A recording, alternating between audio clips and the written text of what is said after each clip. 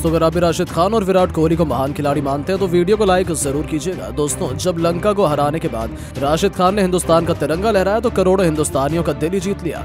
लेकिन आईसीसी ने उनके खिलाफ कड़ा एक्शन लेते हुए जब करोड़ों का जुर्माना ठोक दिया तो तब उनकी बैकबोन बनकर सलमान खान से लेकर बॉलीवुड के बादशाह किंग खान और प्रीति जिंटा तक ने अब राशिद खान की तारीफों के कसीदे पढ़ते हुए उनका पूरा जुर्माना भरने से लेकर आईसीसी के खिलाफ आवाज़ उठाते हुए जो कहा उसने राशिद खान से लेकर करोड़ों अफगानियों के चेहरे पर मुस्कान ला दी। तो आखिर कैसे इन सभी बॉलीवुड सुपरस्टार्स ने भी राशिद की महानता को किया सलाम। क्या कुछ कहा उन्होंने राशिद का समर्थन करते हुए?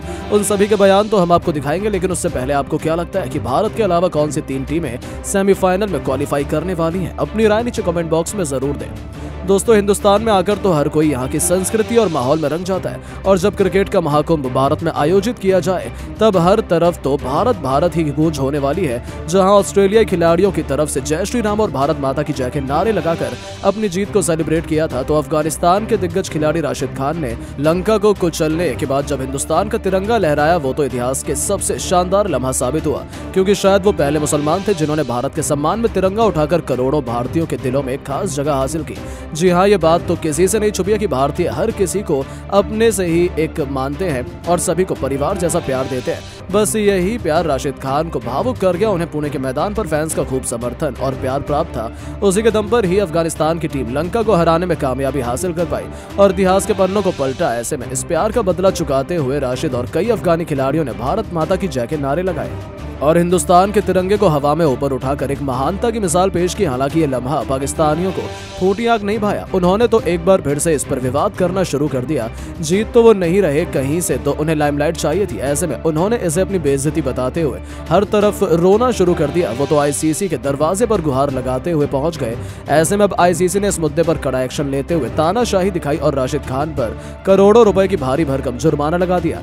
यह देखकर तो हर कोई हैरान था कि किसी को भरोसा ही नहीं हो रहा था कि आईसीसी ऐसा भी कर सकती है। लेकिन हिंदुस्तान तो राशिद खान के साथ है। पूरी दुनिया में राशिद खान की जमकर तारीफ़ हो रही है। हर कोई उन्हें खूब पसंद कर रहा है। यहाँ तक कि अब राशिद खान के इस करिश्मे की आग बॉलीवुड तक पहुँच चुकी है। जहाँ बॉलीवुड के कई बड़े बड़े सेलिब्रिटीज ने राशिद खान के साथ देते हुए आईसीसी के खिलाफ अपनी आवाज़ उठाई। जी हाँ दोस्तों, सबसे पहले तो बॉलीवुड के भाईजान सलमान खान का बयान निकलकर सामने आया है। उनका कहना है कि राशिद खान अपने साबित कर दिया है कि मुसलमान सबसे बड़ा देशभक्त होता है। हिंदुस्तान में आपको जितना प्यार मिला उसके बाद, उसके बदले में आपने हमारे तिरंगे को सीने से लगाया, ये आपकी काबिलियत है। आपने पूरी दुनिया में मिसाल पेश किया मुसलमान अपने देश, अपने धर्म और अपने प्यार से करने वालों के लिए जान भी दे देता है। हर एक हिंदुस्तानी को आप पर गर्व है। मैं भारतीय सभी भारतीयों की तरफ़ से आपको धन्यवाद करना चाहता हूँ कि आपने हमारे प्यार का इस तरीके से सिला दिया। आप कमाल के हैं। राशिद, आपको डरने की कोई ज़रूरत नहीं है। पूरा हिंदुस्तान आपके साथ खड़ा है। आपको अपनी जेब से एक रुपए भी भरने की ज़रूरत नहीं है। तो वही किंग खान शाहरुख खान का कहना है, आईसीसी को तो केवल पैसों से मतलब है, लेकिन मैंने तो कभी उम्मीद भी नहीं की थी कि राशिद खान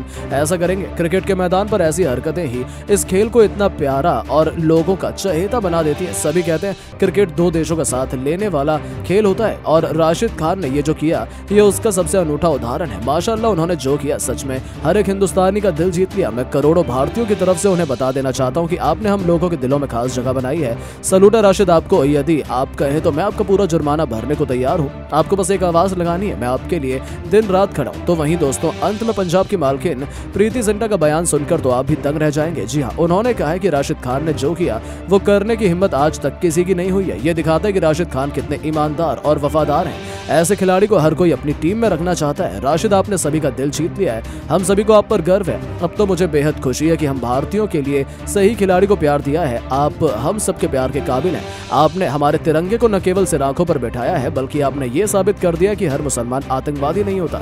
आईसीसी ने आपके साथ बेहद गलत किया है। हम सब उसके खिलाफ आवाज़ उठाएँगे और ज़रूरत पड़ी तो मैं खुद आपके जुर्माने की पूरी रकम भरने के लिए तैयार हूँ। आपको डरने की कोई ज़रूरत नहीं है। तो दोस्तों, सच में इन तीनों ने तो जो बयान दिया, बहुत तेज़ी से वायरल हो रहे हैं, लेकिन अब आपको क्या लगता है कि इस वर्ल्ड कप में भारतीय टीम के खिलाफ सेमीफाइनल में कौन सी तीन टीमें पहुंचेंगी? अपनी राय नीचे कमेंट बॉक्स में ज़रूर दें और ऐसी शानदार खबरों के लिए चैनल को सब्सक्राइब ज़रूर करें। धन्यवाद।